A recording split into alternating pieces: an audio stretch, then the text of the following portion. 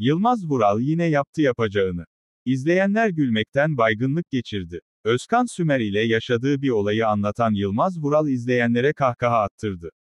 Şu günlerde TFF 2. Lig ekiplerinden Menemen FK ile play-off için mücadele eden teknik direktör Yılmaz Vural'ın her hareketi olay olmaya devam ediyor.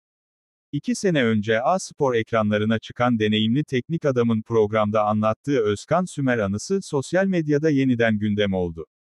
İşte Yılmaz Vural'ın sözleri. Allah rahmet eylesin Özkan Sümer hocamız ben 6 ay onun yardımcılığını yaptım. Malatya'da oynuyoruz bizim stoper çıkıyor vuruyor taak gol kendi kalemize. Bir daha çıkıyor vuruyor gol.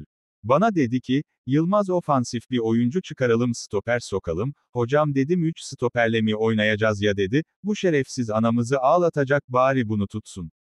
Yılmaz Vural'ın bu anısı hem stüdyoda hem de ekran başında izleyenler kahkahaya boğuldular.